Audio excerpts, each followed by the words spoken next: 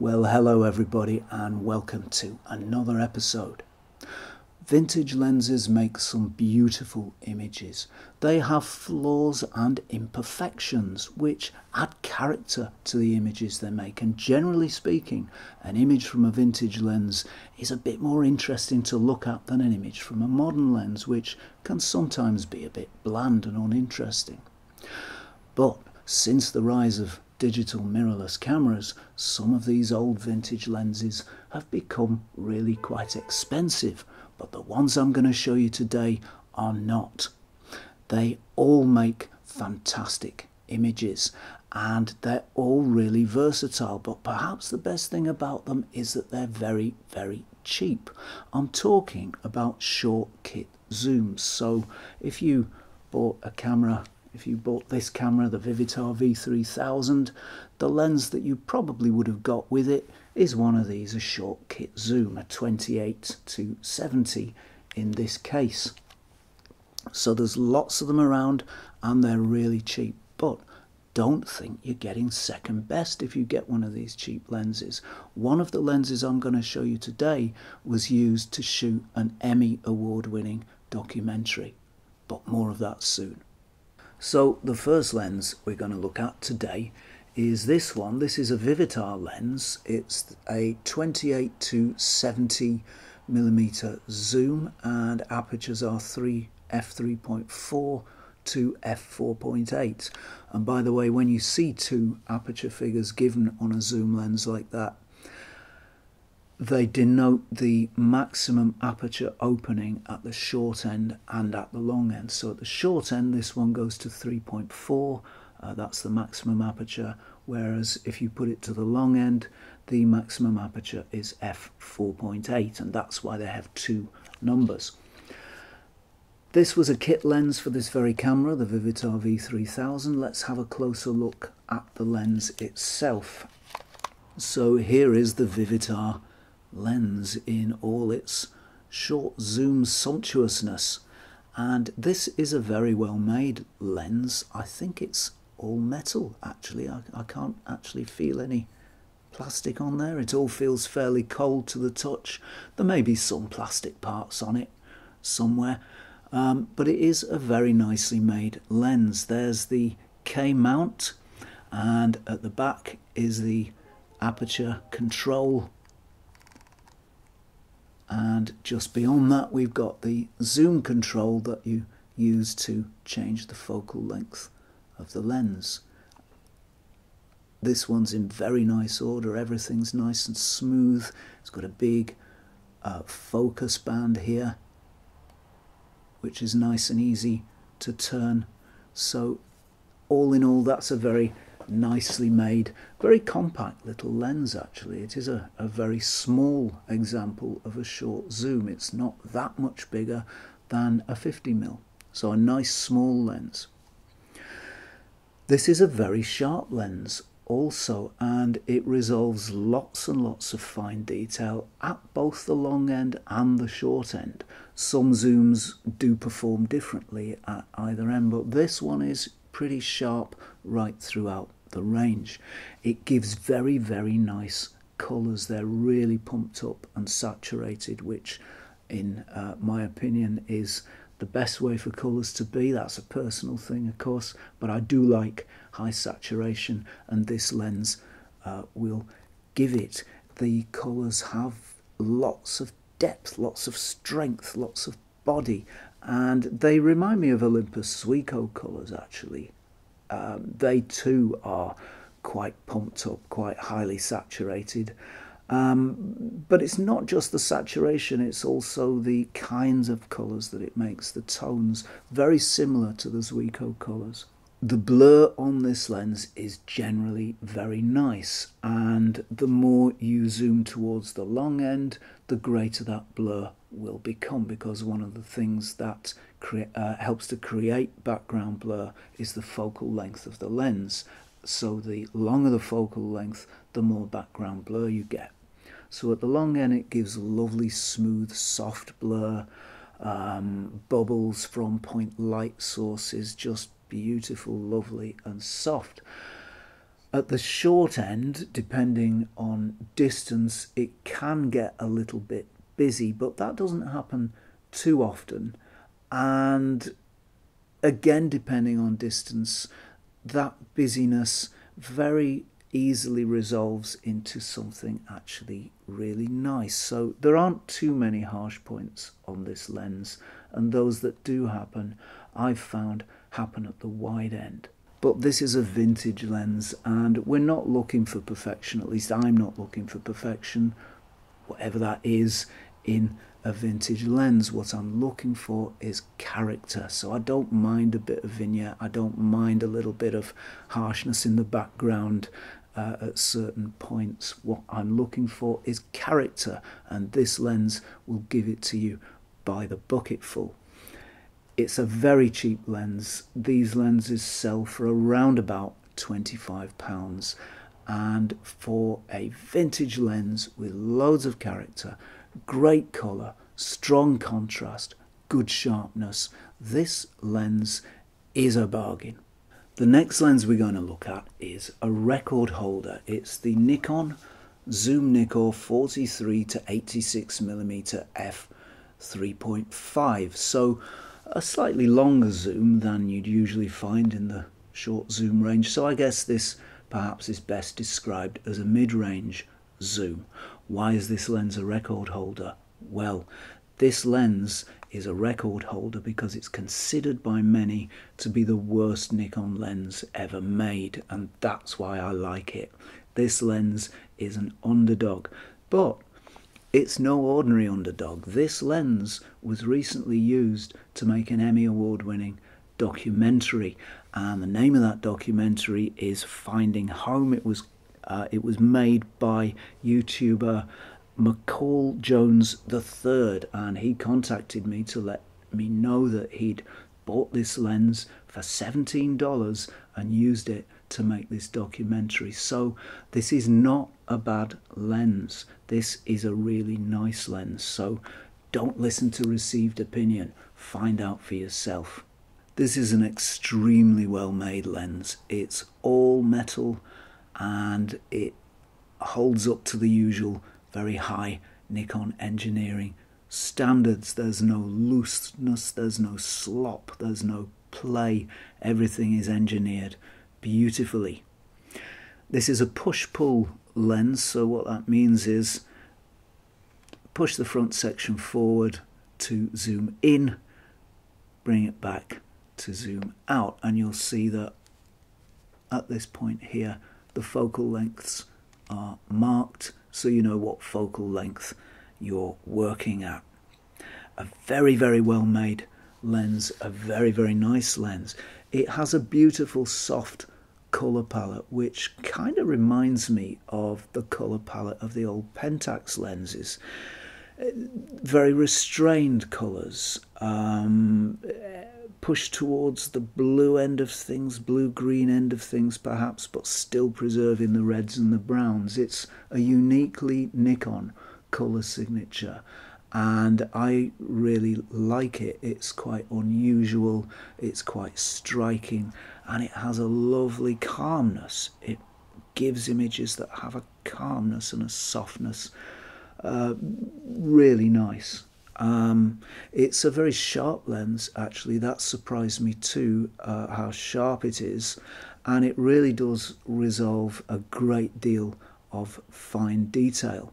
It has lovely soft blur that never seems to become too harsh, whether you're at the long end, the wide end, or somewhere in between. The blur, generally speaking, stays very soft. And I couldn't really find any points where I thought, mm, that blur's really jarring or really harsh. It just doesn't have that. So the blur from the lens is really nice as well. It's not a high contrast lens, but I wouldn't call it a low contrast lens either. It falls somewhere in between, and the images it makes have depth and strength and body. It does have some vignetting at both the long end and the short end if you shoot it wide open. Uh, stop down the aperture, one or two stops to clear that. Although curiously I found that contrast dropped slightly as I closed down the aperture on this one. All in all then it's a really really nice lens and it doesn't deserve the worst Nikon lens in the world reputation. I have shot Nikon primes that didn't perform as well as this one. If this really is the worst Nikon lens in the world, then the best must be quite something. I love this lens and it's proved itself. For me, this lens might just be the pick of the bunch as far as cost goes. You can pick up one of these if you're patient and you look around carefully for around about £50. The next lens we're going to look at is this little zoom from Minolta. This is, what is this? A 28 to 70 zoom. So this covers the same focal length range as the Vivitar lens and I think this is actually a bit smaller than the Vivitar lens yeah it is just a little bit about half an inch smaller so this is a really small lens. So there's our lovely little Minolta lens. This is a really really well made lens. I think this is all metal. I can't feel any plastic on it. Everything's quite cold to the touch so I think this is an all metal lens. There's the Minolta MD mount, a bayonet mount. At the back you can get adapters to adapt this lens to Sony, to Micro Four Thirds, to Fuji, to all the usual mirrorless suspects. It's a rotary zoom, so again like the Vivitar, you just turn this ring. Doesn't turn too far on this one, so you've got a nice quick action to find your focal length when you want to. It does say macro on here, but this isn't a macro lens. It will go reasonably close and it will produce a magnification ratio of 1 to 4, so it'll get reasonably close, but it's not a macro lens. So a very nice little lens and very well made and very compact too. If you're expecting to get Minolta colours from this lens, then you will not be disappointed. Minolta colours are well known to be some of the most exuberant, most saturated, most joyful colours from any lens, and this one does not disappoint. The colours from this lens are spectacular. They're really, really nice, full of saturation slightly accented towards the warm end. Lovely, deep, rich, strong colours. I've never quite seen colours like those from uh, a fairly cheap, simple zoom lens. This lens will give you stunning colours time after time after time. It's also quite a sharp lens. Optically, it's very nice. It will delineate things very, very sharply and it's not a fast lens, it's not going to give you much background blur, but it will give you enough background blur to separate your subject from the background at the short end. And at the long end, of course, that's going to give you a lot more blur. Blur is very nice, it's very soft, it's very delicate, it's it's beautiful actually. And I, I again couldn't find any points where it became harsh or unpleasant or any points where I could say to myself, gosh, this image was clearly shot with a very cheap lens. It, it's just not that kind of lens. Contrast is really good and it shoots, it copes very well when you shoot into the sun. Contrast doesn't drop very much, it's very hard to wash this lens out. You have to really try to catch the sun at an angle where it will drop contrast away. Most of the time, it just maintains the image as best it can, which is pretty well. It also makes some very groovy flares, which uh, I thought worked to pretty nice effect on this shot. It vignettes quite heavily, particularly at the short end. But again, I'm not too bothered about that. I actually quite like a bit of vignette. If it's not your thing, close down the aperture a couple of stops and it will substantially disappear a really nice little lens, very small and compact for a zoom, Uh, and these lenses are now selling for around about £25. I bought this one for £25. It's got Minolta colours, it's got great sharpness, it's got great contrast, and it's got very nice blur. Really, for £25, what more could you ask? Our final lens for today is this lens. This is the Kiron f2.8 28 to 85 mil. So this is a rather faster lens than the other three. It's got that extra stop, which means that it can give you a little bit more background blur and it will work that bit better in lower light. You can open it up a little more and let more light in. The penalty for that is that this is rather bigger and rather heavier than the smaller lenses that we're looking at today. In fact, it's almost twice as big as the smallest lens we're looking at today, but no matter. This is a very, very nice lens indeed. So here's the lens itself, and I have to say this feels like a very, very well made lens. It's really heavy and it's all metal. You can actually feel the turning marks on the surface, which is always a really nice touch. That's been beautifully machined on a lathe there. I can't see any plastic at all in this lens's construction. This one is in Olympus OM mount, but they were made in lots of other mounts, so you're sure to be able to find one for your camera. This is another push-pull lens. So again, push to the long end and pull back to the short end. There's lots of marks on here to show you which focal length you're actually working at. This is a very sharp lens and at both the long end and the short end and all points betwixt and between it gives a very great deal of detail. Really sharp images. In fact I think it might be by a whisker the sharpest of the lenses that we're looking at today colours are a little flatter than the Minolta. They're not quite as wild, they're not quite as exuberant, but they're also not quite so flat as the Nikon, so this one does fall somewhere in between. Generally speaking, colours are nicely saturated, plenty of depth, plenty of body. Again, like most of these, it vignettes fairly heavily. A little bit of stopping down will fix that. There is some purple fringing apparent, uh, that can be fixed in software. It doesn't bother me too much actually, but I know a lot of people don't like it. It can be fixed pretty easily in software. This lens will shoot pretty close, uh, somewhere approaching macro. It's got a 1 to 4 macro ratio, so it's not really a macro lens, but it does shoot pretty close, same as the Minolta, and you can get some nice close-ups with it. Now, interestingly, this lens has some separation in its internal elements. I don't know if I'll be able to show you on here, but you may be able to see, yes, I think you can just see in the light there, uh, just on your left, that sort of shiny part deep within the lens, semicircular shiny part. That is separation where internal lens elements that have been glued together at the factory are coming unstuck. It has got a little bit worse over the couple of years I've had this lens.